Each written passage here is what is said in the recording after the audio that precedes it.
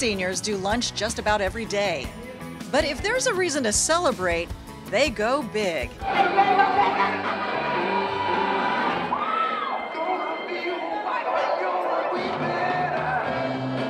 This is the Westminster Senior Center's Halloween Luncheon.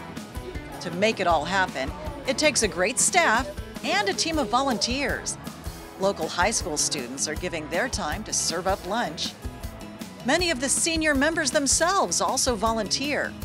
But Ethel Harris didn't set out to when she first joined. I came over to take some lessons in line dancing, and they gave me an application. I filled it out, and they called me. So I came. And I've been retired since 1986, and I've been here since 1990. And I'm still volunteering, and I enjoy it because it's my second home. May we ask how old you are? 97 and a half. DJ Professor D kept the dance floor going strong.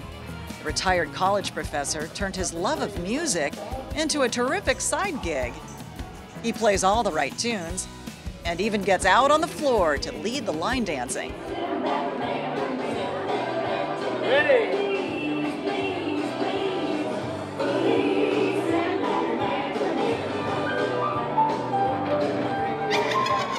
It was clear that a lot of effort went into picking these costumes, which also means making it easy for some. Well, he, I had to keep it simple for him. and so I found this online and I said, okay, I'm a hippie. she uh, has many costumes and I'm just kind of a tag along. Uh, He's a good tag along. Next, it was time for some fun and games. An oldie but goodie, name that tune. So you have to identify the song, and if you can, the artist or composer.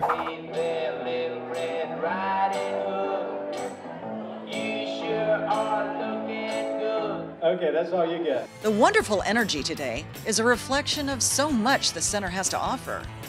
Travis Ramsdell says he has the best job as recreation coordinator. I love every part of it. Um, just being able to, you know, connect with the seniors, um, being able to listen to their unique stories, their unique characteristics, um, seeing what they you know, bring to the table um, and how over time it builds, you know, that community. This isn't just a party.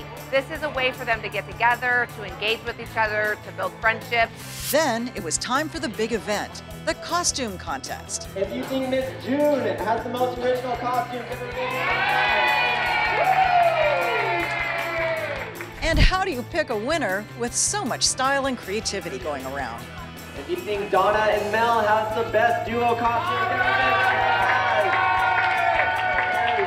In the end, it was Donnelly and Mel for Best Couple, and Ethel for the win for Scariest Costume. I think it's Ethel.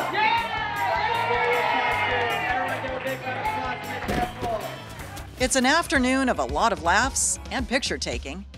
But as popular as this event is, great things take place here every day whether it's meeting people who share your favorite card game or catching up with the local pool sharks. You can find it here.